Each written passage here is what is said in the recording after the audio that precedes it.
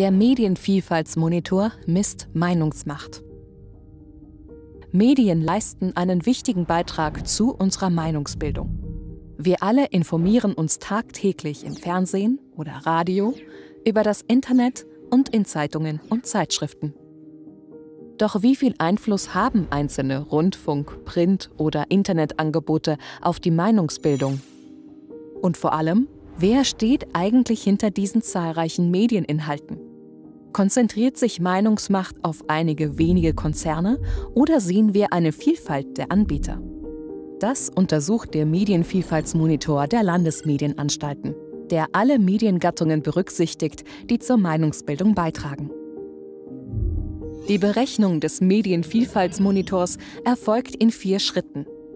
Zuerst werden die Reichweiten bzw. Marktanteile der Medienangebote in den Meinungsmärkten TV, Radio, Print und Internet ermittelt. Dabei greift der Medienvielfaltsmonitor auf allgemein anerkannte Reichweitenerhebungen zurück. In einem zweiten Schritt werden die Marktanteile eines Medienangebots demjenigen Konzern zugeordnet, der Anteile daran besitzt.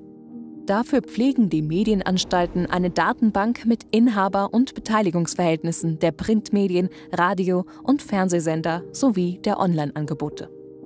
Ein Beispiel. Die Axel Springer SE ist beteiligt an Medienangeboten aus allen Gattungen. Den höchsten Anteil hat Springer am Tageszeitungsmarkt. Um den Einfluss auf den Gesamtmeinungsmarkt zu beziffern, muss berücksichtigt werden, welche Relevanz die jeweilige Mediengattung für die Meinungsbildung hat. Deshalb wird im dritten Schritt ermittelt, welche Mediengattungen zu Informationszwecken genutzt werden und welche den Nutzern persönlich am wichtigsten sind, um sich zu informieren. Grundlage dafür bildet die halbjährlich veröffentlichte Mediengewichtungsstudie der Medienanstalten. Zu guter Letzt werden die Anteile eines Medienunternehmens am Radio, TV, Print- und Internetmarkt mit dem Gewicht der Gattungen multipliziert.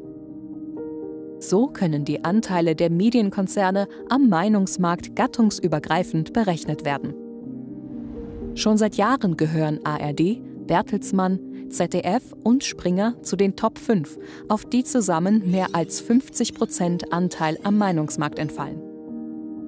Der Medienvielfaltsmonitor wird regelmäßig aktualisiert.